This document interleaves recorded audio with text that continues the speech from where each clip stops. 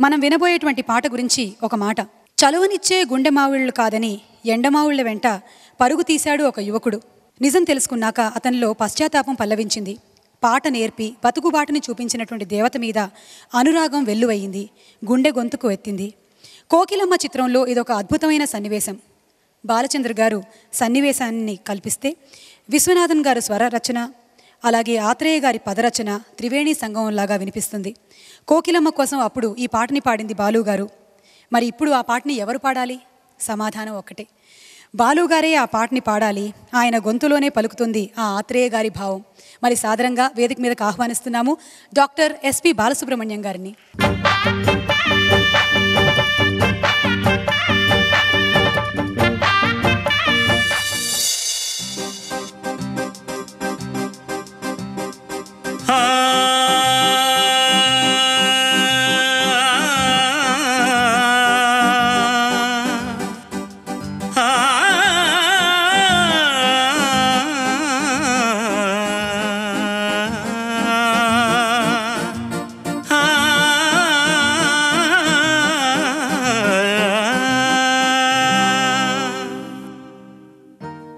ఎవరో పాడారు భూపాల రాగం సుప్రభాతమై. ఎవరో పాడారు భూపాల రాగం సుప్రభాతమై. కనుగొంటిని ఆ దేవిని అభినందనం అభినందనం అభినందనం.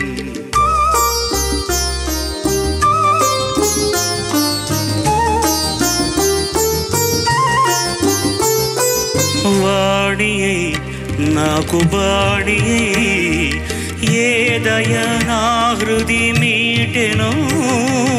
వాణియై నాకు బాణియై ఏదయ నా హృది మీటెను? ఆ మూర్తికి స్త్రీమూర్తికి అభినందనం అభినందనం అభినందనం.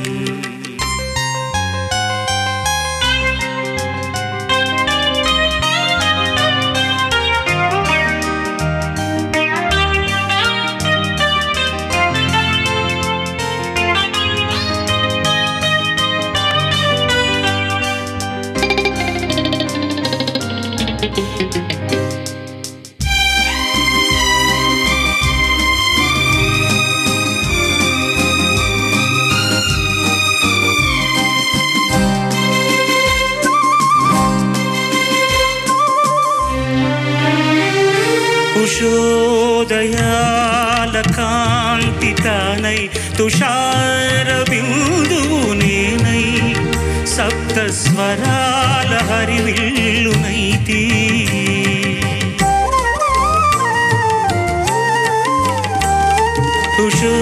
ఉషోదయాల కాంతితానై తుషార బిందువు నేనై సప్త స్వరాల హరివిల్లునైతి ఆ కాంతికి నా రాగమాలికలు అర్పిస్తున్నా. మీ అందరి కరతాళ హారతులను అర్థిస్తున్నా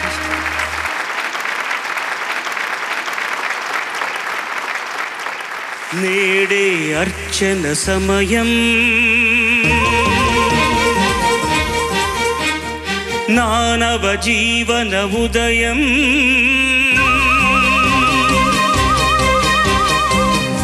ఎదలో మమతాగీతం గుడిలో ఘంటానాదం. ఇది నా తొలినై వేద్యం ఎవరో పాడారు భూపాల రాగం సుప్రభాతమై.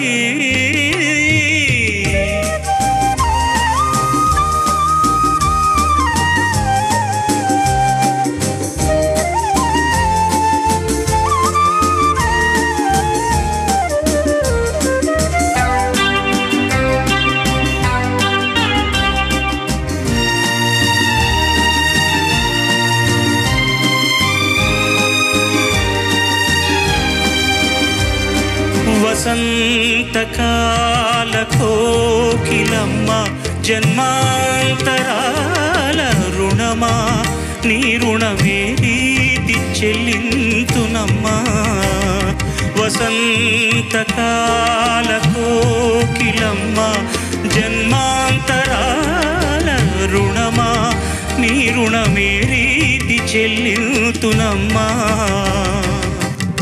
నా జీవితమే ఇక నీ పదతీర్థం.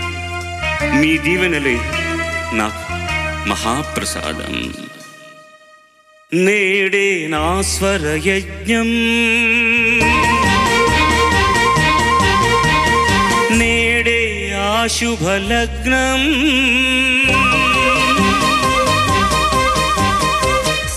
తొలినే చేసిన భాగ్యం.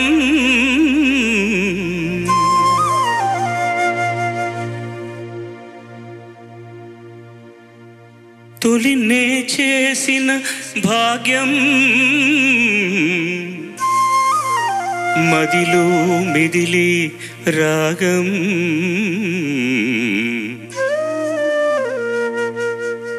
ఇక నా బ్రతుకే ధన్యం. ఎవరో పాడారు భూపాల ప్రభాతమై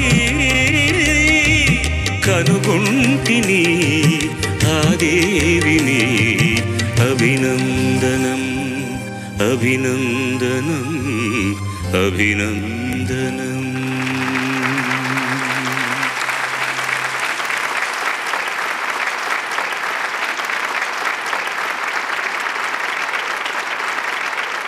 బాలుగారు మీ ఆర్ద్రత మాకు అర్థమవుతుంది. మీకు ఈ పాట ప్రాణం కన్నా ఎక్కువ అని మీరు చాలా సందర్భాల్లో చెప్పారు. ముందుగా ఇక్కడ ఉన్నటువంటి సంగీత స్వరూపాలను చూస్తానని కూడా నేను కల్లో అనుకోలేదమ్మా ఇప్పుడు కూడా. వీళ్ళతో పనిచేసే భాగ్యం భగవంతుడు నాకు ఎంత గొప్ప అదృష్టాన్ని ఇచ్చారు. వీళ్ళందరూ పుంభావ సరస్వతులు ఇక్కడ. మా తండ్రి గారు బాలమురళీకృష్ణ గారు మా అన్నయ్య యేసుదాస్ గారు పక్కన మా తల్లి సుశీలమ్మ నాకు తమిళంలో స్వరభిక్ష పెట్టిన నా తండ్రి ఎంఎస్ విశ్వనాథన్ గారు. ఇక్కడ ఎన్నో అక్షరాలు దిద్దించినటువంటి ఆచార్యదేవులు నారాయణ రెడ్డి గారు. నన్ను మొట్టమొదటిసారి సంగీత దర్శకుని చేసిన నా సోదరుడు దాసరి నారాయణరావు. ఎన్నో సినిమాల్లో నేను తప్ప ఇంకెవరు పాడకూడదని హఠం బట్టి పోరాడినటువంటి రాఘవేంద్రరావు. జీవితం అంటే నిబద్ధతతో ఎలా ఉండాలి ఒక కార్యక్రమాన్ని ఎలా కండక్ట్ చేయాలని నేర్పినటువంటి శ్రీ రామోజీరావు గారు. ఇంకా నా సోదర తుల్యులు ఎంతోమంది మ్యూజిక్ డైరెక్టర్లు ఇక్కడ ఉన్నారు. నా కవులందరూ ఉన్నారు. వాళ్ళు పెట్టిన భిక్ష ఇవాళ నేను ఇక్కడ ఉండడం. ఈ పాట మలయాళంలో ఒకసారి ఎంఎస్ విశ్వనాథన్ గారు పాడినప్పుడు నేను విన్నాను అది. నాకు వినిపించారు ఆ పాట. ఇలాంటి పాట ఎప్పుడైనా దొరుకుతుందా? ఎక్కడైనా వేరే భాషలో పాడడానికి అనుకున్నప్పుడు అయాచితంగా నాకు నా జోలిలో పడినటువంటి భిక్ష ఈ పాట. మా తండ్రి గారు అయినటువంటి ఎంఎస్ విశ్వనాథన్ గారు తప్ప ఎవరు కంపోజ్ చేయగలరు ఈ పాటని ఇలాగా? ఎవరు చేయగలరు ఇంత ఇంత గొప్పగా పాట ఆర్ద్రం అవడానికి కారణం ఏంటంటే అందరం కూడా ట్వైలైట్ జోన్లో ఉన్నాం అన్నమాట. వీళ్ళందరికీ నేను కోరుకునేది ఏంటంటే ప్రపంచంలో ఉన్న సంగీత ప్రియులందరూ వాళ్ళు భక్తితో ప్రార్థించే భగవంతుణ్ణి వాళ్ళ జీవితంలో ఎక్కువ టైం అక్కర్లేదు. ఒక పది సెకండ్ల కాలం కనుక వీళ్ళందరికీ ఇవ్వగలిగితే వాళ్ళు చిరంతనంగా బతికి ఉండాలి ఆరోగ్యంగా ఉండాలి. వీళ్ళ వల్ల జాతి జాతి అంతా ఎంత లభ్యం పొందుతుందో చెప్పడానికి వీల్లేదన్నారు సంగీ అక్షరభిక్ష పెట్టారు స్వరభిక్ష పెట్టారు గాత్రభిక్ష పెట్టారు. ఇలాంటి కార్యక్రమం తప్పితే మేము కలుసుకునే అవకాశం లేదు. ఇది నేను వాళ్ళ పాదాల దగ్గర అర్పిస్తున్నటువంటి చిన్న కృతజ్ఞత పుష్పంగా నేను భావిస్తున్నాను. ధన్యవాదం ఈ అవకాశం ఇచ్చిన రామోజీరావు గారికి. మా పిల్లలందరూ పాడుతా తీయగా అన్న పేరు వింటేనే జ్ఞాపకం వచ్చేది. రామోజీరావు గారు ఒక్కరే. ఆయన కనుక పట్టు పట్టకపోతే ఈ పద్దెనిమిది సంవత్సరాలు ఈ సర్వయాత్ర జరిగేది కాదు. ఇంతమంది సినిమా పరిశ్రమకు మిగతా వేరే వేరే సంగీత కార్యక్రమాలకు పరిచయం అయ్యేటటువంటి అవకాశమే ఉండేది కాదు. ఆయన పట్టుపట్టకపోతే వీళ్ళందరూ కూడా ఒక గొడుగు కింద ఇవాళ ఈ ఎనభై రెండు సంవత్సరాలు అన్నది సినిమా పరిశ్రమ ప్రయాణం చేస్తున్నది అన్నది ఒక సాకు మాత్రమే అని నేను అనుకుంటున్నాను. వీళ్ళందరినీ కలవడానికి ఒక పండగ చేసుకోవడానికి ఆయన ఏర్పాటు చేసినటువంటి ఒక వేదికగా నేను భావిస్తూ ఇందులో పాల్గొన్న వాళ్ళందరూ ధన్యులు. ఆశీర్వదించడానికి విచ్చేసిన వాళ్ళందరూ ధన్యులు. మీరందరూ కలిసి మా ఈ మాణిక్యాలందరికీ కూడా ఒకసారి ఆశీస్సులు తెలియజేయాలని కోరుకుంటున్నాను. వాళ్ళ శ్రమ తర్వాతే మా శ్రమ అంతా కూడా.